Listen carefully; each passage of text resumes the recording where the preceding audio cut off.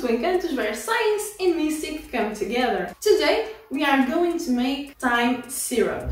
Thyme syrup takes care of coughs, colds, flus and other complaints that you guys have chest-wise. The best part about this syrup is that it is child-friendly, which means that children can also use this syrup. The recipe that we are going to try today is from a book that I love, written by Rosemary Gladstar. I'm going to leave the link in the description box in case you guys want to take a look. So let's talk a little bit about thyme. Thyme has thymol, cineol, borneol, tannins and flavonoids. And this means that it it can be a powerful and very effective disinfectant for wounds, so you can use it to make some kind of wash for wounds. It stimulates the immune system. It's very good for your throat, so this means that you can use it in tea, that is also very good. It has fungicide properties. It's rich in antioxidants and it has positive effects over the glandular system, especially over the thymus gland. This gland, the thymus gland, it helps regulate the defense of the immunity system. The best part about thyme is that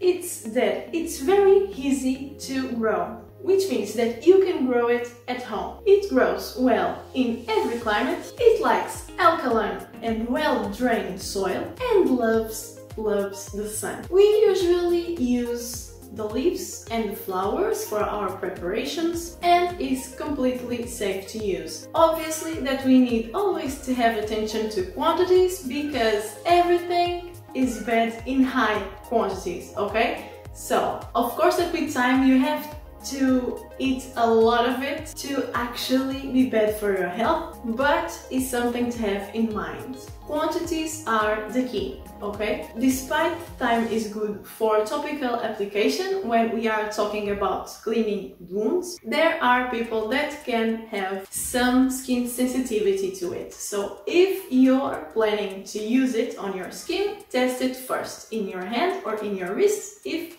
it has any adverse reaction, okay? So let's make our syrup.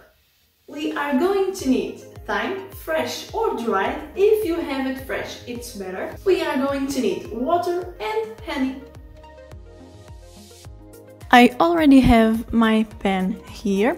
I have one liter of water and we are going to add 120 grams of thyme.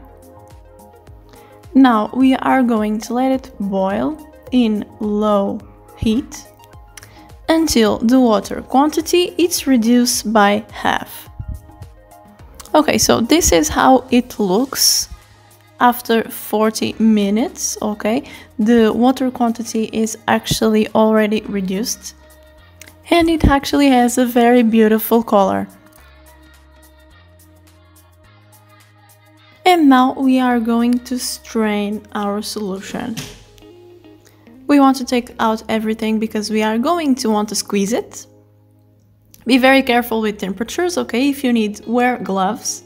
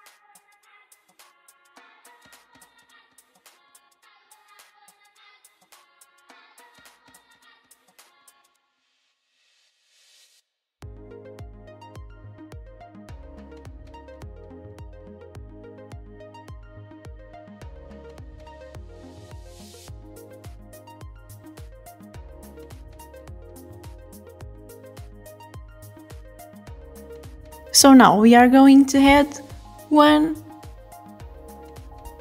cup of honey.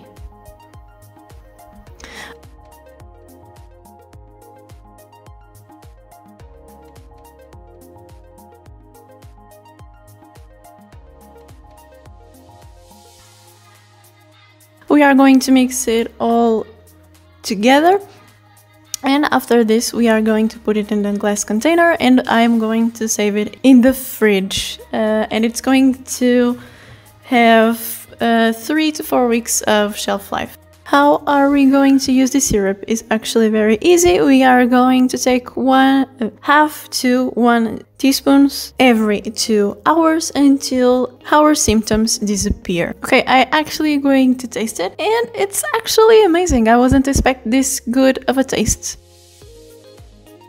So now that we have our syrup, actually if you like, you can add brandy to it, okay? One quarter of a cup of brandy for each cup of syrup. Of course, that if you do this, it is no longer suitable for children, okay?